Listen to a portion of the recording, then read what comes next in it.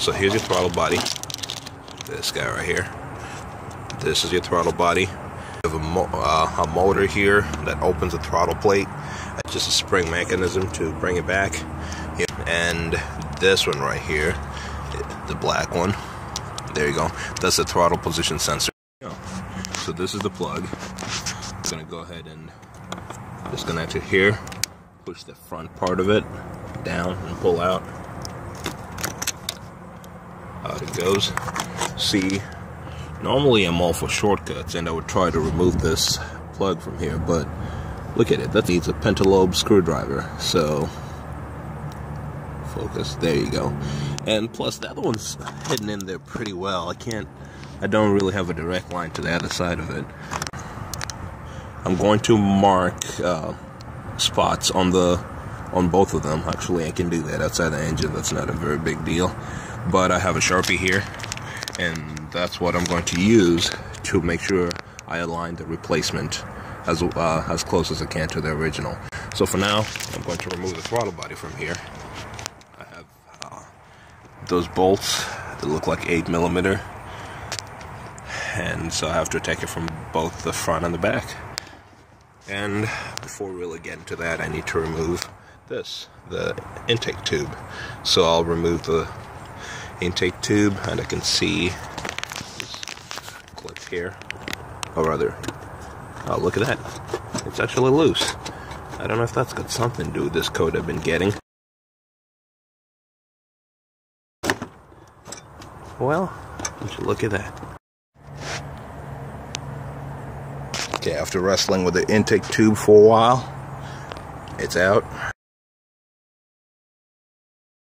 And now this uses uh, five, no, eight millimeter. There you go. Uh, these four uh, throttle body bolts are eight millimeter heads, so that's what I'm going to do. I don't know if you see the other one. There you go. I am glad I removed the tube. And I'll try to access that the best way I can. So, oh, there's another plug there. Just remember to disconnect that. Right here. Oh, it just pulls. And those are the four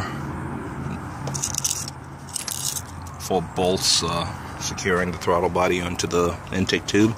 And the throttle body is removable now but you want to be careful about it. One, there's a gasket here. It's a metal gasket, so be careful about it. Pull it out, don't crush it. I don't have a replacement. There you go. There's there's the gasket. Um, so gunky side out. I'll just place that there. Remember not to crush it. Another thing, another obstacle is oh my goodness, that's dirty in there. Let me get the flashlight. Their obstacle is this right here. You have coolant tubes running through the throttle body. So ideally, I would pull the throttle body and go work on it in the house, but not with this going on. I look, look at that fastener. How, how do you even deal with that? I could cut it off and there you go. I could cut it off and put a regular fastener there, but I'd rather not. It's really dirty in there, and that's what I'm trying to show here.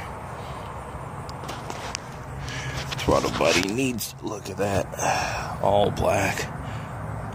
So I'll probably get a throttle body cleaner to wipe it off, but for now, I've moved it enough to be able to get to these fasteners.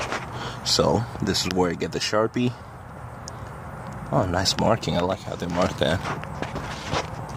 You can see a white dot coming from the uh, screw onto the TPS sensor and onto the throttle body. The three white marks, just to show how they align. So I'll just use a Sharpie to just draw the outline, and I'll hope that the other one kind of follows the same path.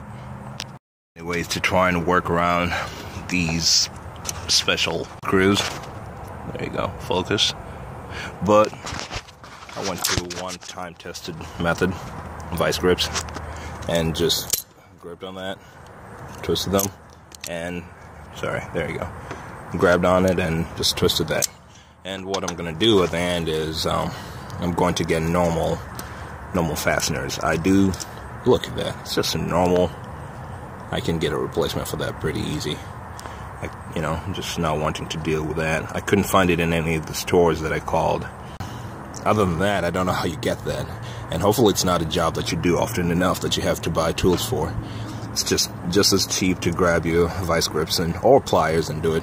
I don't think they were on there very tight, but I didn't really gauge that well. So yeah, you can do the same on the other side. And again, it's a bad, um, it's a little tougher if you try to do this while the thing is still on the car. Uh, yeah, it gives you some leverage, but thing is you cannot access the bottom one, this one right here. Okay, so let me get that going and let's try to make this work. Oh, this is the new one, actually. And these are the screws I'm going to use, so set it in here. Twist it. I can feel it snap back. Look at that. Oh, already snapped. If you let go, snaps back.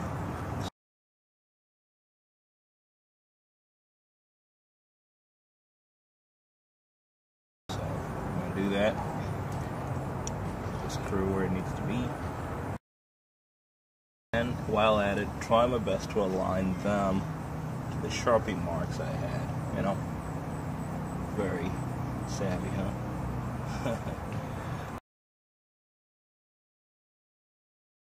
Yeah, this looks good to me, so I'll tighten that.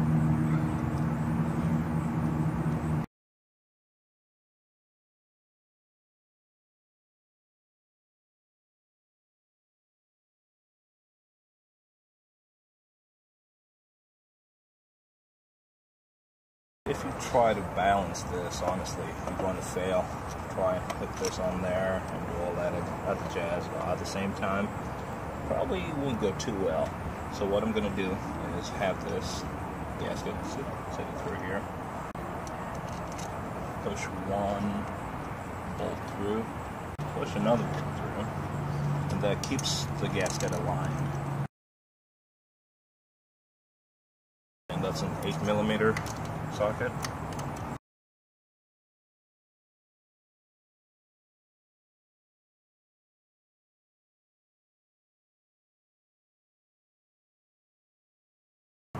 At this point I'll attach this, this back on.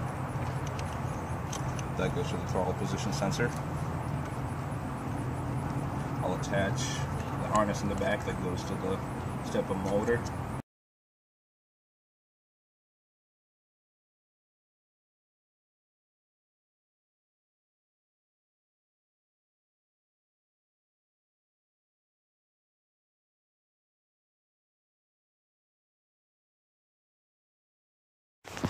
People. So this is kind of part two of the test. Change the screws there to regular Phillips head screws, and that gives me an advantage in that I can remove that with a uh, long screwdriver, and I can do the same thing down here. Just pull on this with, you know, of course, create space and screw that. But when you do that, you do need magnetic pickup tool. So it's worked out for me. Uh, but it, as I said, it's been a process. I had to do a hard reset. I followed some instructions that said to do it for about five minutes or so, but that did not work for me. I tried it for an hour. That did not work. I had to go and disconnect the negative terminal of the battery for a whole, yeah, a little over 12, 12 hours. I did it overnight. So it seems like the the replacement uh, throttle position sensor is working for me. Um, and as I said, um, the first time I put it, I the car just totally crapped out on me. It did not want to move. Uh, I got the code immediately. I tried to do the same. I put the old one back on, and surprisingly, the old one worked. Uh, immediately I put it back on, and I guess it was just programmed for it.